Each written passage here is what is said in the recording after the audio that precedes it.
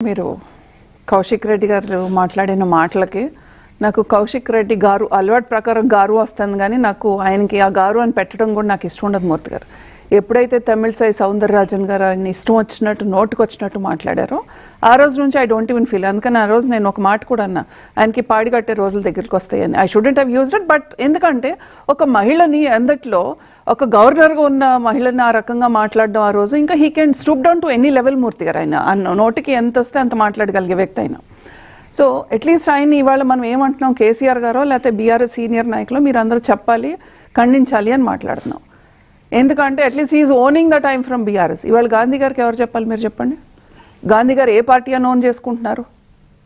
చెప్పండి మూర్తి గారు. గాంధీ గారు ఆయనేమో టెక్నికల్గా పిఎస్సీ చైర్మన్ కోసం బీఆర్ఎస్ అంటున్నాడు. కానీ కాంగ్రెస్ వాళ్ళు ఇచ్చారు పదవి. అంటే ఏంటి? ఒక పక్కన చెప్పాలి. అయితే రేవంత్ రెడ్డి గారు ఓన్ చేసుకుని క్షమాపణ చెప్పాలి గాంధీ గారు చేసిన దాని గురించి. అంతేనా? సో ఇప్పుడు ఇటు కేసీఆర్ గారు ఇటు రేవంత్ రెడ్డి గారు ఇద్దరు వచ్చి ప్రజలకి ఇదిగో మా వాళ్ళ వల్ల ఇట్లా అయ్యింది అనేది క్షమాపణ చెప్పాల్సిన అవసరం ఉంది. ఒకటి. రెండోది పోలీసులు ఇవాళ చిన్న చిన్న కార్యకర్తల మూర్తి గారు మేము. ఇవాళ ప్రజలకు ఇబ్బంది వచ్చినప్పుడు మేము డెఫినెట్గా ఒక ధర్నాకు పిలిపిస్తాము ఏదో ఒకటి చేస్తాం. దానికి వచ్చి ముందస్తు అరెస్టులు మమ్మల్ని చేస్తారే? చిన్న కార్యకర్తలు మేమేం టెర్రస్లు కాదు ఇంకోటి కాదు ఇంకోటి కాదు. కానీ ఇవాళ ఇదే గాంధీ ఏ రకంగా అంతమందిని తీసుకుని వెళ్తాడు మూర్తి గారు? ట్రూ అంటే ఇదేంటి? పోలీసులు కావాలని చేసిద్దా? ప్రభుత్వం చెప్పిందా పోలీసులకి చేయమని? లేకపోతే పోలీసులు అతి ఉత్సాహమా ఎందుకు వెళ్ళనిచ్చారు ఈ పోలీసులు? వాళ్ళపైన యాక్షన్ తీసుకోవాలి కదా? కేసు పెట్టాల్సింది గాంధీ గారి ముందు ఆ పోలీసుల పైన ఎవరైతే వైఫల్యం చెంది ఈయన ఇక్కడ నుంచి అక్కడ దాకా వెళ్ళనిచ్చారో ఆ పోలీసులు ఎవరైతే ఆ లో ఉన్నారో వాళ్ళపైన కేసు పెట్టండి. ఎందుకు పెట్టలేదు మూర్తి గారు? సస్పెండ్ ఎందుకు చేయాల? వాళ్ళకి ఎందుకు నోటీస్ ఇవ్వాలా? ఇవ్వాలిగా మూర్తి గారు వాళ్ళకి.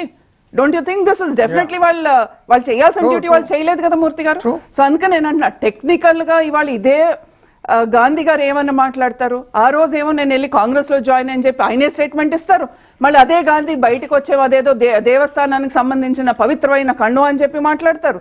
మరి బీఆర్ఎస్కి అంటే అపోజిషన్ పార్టీకి ఇవ్వాల్సిన పిఎస్సీ చైర్మన్ మేము అపోజిషన్ కే ఇచ్చామని మీరు మాట్లాడతారు. ఎవరు ఓన్ చేసుకుంటున్నారు మూర్తి గారు? అందుకే నేను అంటున్నా ఇవాళ ఇటు రేవంత్ రెడ్డి గారు కానీ అటు కేసీఆర్ గారు కానీ కేసీఆర్ గారు ఏమో అసలు దాన్ని వదిలేశారు ఆ పార్టీని వదిలేశారు కాబట్టి ఆ ప్రెసిడెంట్ వర్కింగ్ ప్రెసిడెంట్ ఎవరు లేరు. అందుకని అట్లా తయారైంది వాళ్ళు అక్కడ. ఇక్కడేమో ఈ లోన్ చేసుకునే పరిస్థితి లేరు అందుకని వీళ్ళిద్దరు క్షమాపణ చెప్పాల్సిన అవసరం ఉంది.